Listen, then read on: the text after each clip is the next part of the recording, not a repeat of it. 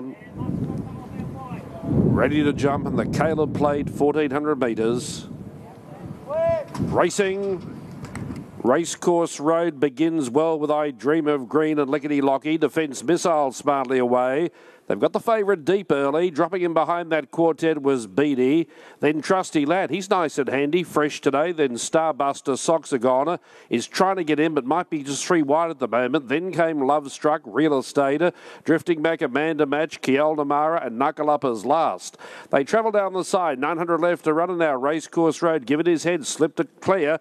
He's inclined to go touch keenly in front. He leads by three lengths. Lickety Locky second. Two to eight. Dream of Green in third. One away to Defence Missile fourth. The rail, a length and a half to Beatty. Three quarters Trusty Lad inside of Starbuster. Then Soxagona, who spots the leader eight lengths mid race. Then Love Struck, Amanda Match, Kiel Namara, Real Estate, and Up whips them in onto the turn. 500 left to run. Racecourse Road, first go at the 1400 metres. Flattens in front from a few roughies. I Dream of Green and Lickety Locky. Defence Missile diving to the rail. Then Beatty. Soxagon trying to descend down the outside. Trusty Lad nearer the rail. Then Kiel Namara and Amanda Match, but Racecourse Road. Short of 200 metres left to run. He's showing no signs of stopping. He's going great guns. Good battle for the minors. Trusty Lad zooming home, but Racecourse Road beat Trusty Lad. Third defence missile. Fourth photo are the Love Struck or Beatty. Not far away, Kiel, Namara and Amanda Match. Soxagon didn't come on today. Then Knuckle Up, Starbuster,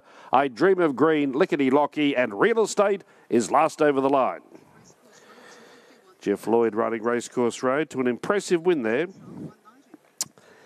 He uh, jumped on terms with them, was allowed to slide to the lead. I thought he might have gone a little keenly in the middle part, but there was plenty of gas in the tank. Racing clear, Trusty Lad and Eyecatcher first up. Third going to Defence Missile and Beatty will last for the fourth spot when the judge confirms it after race six. But Racecourse Road, he's really uh, found his niche now one at the 1200 of the Gold Coast, up to the 1400 here today at headquarters for Chris Munce, Jeff Lloyd takes his record to three wins from nine starts, but he has certainly struck a purple patch and never looked like losing there.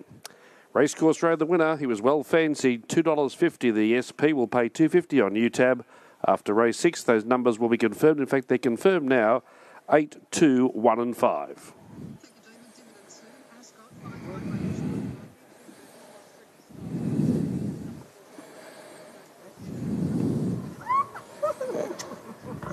Oh my god, that is Racecourse Road by Shower Hearted of Chris Kidnapper. comes to the races today with Racecourse Road and Chris. He couldn't be any more impressive there. He went quick early, then midway he sort of got, got into his rhythm, but then he was too good in the straight. Yeah, he um, he is a bit of a, a, a free striding horse, Sammy.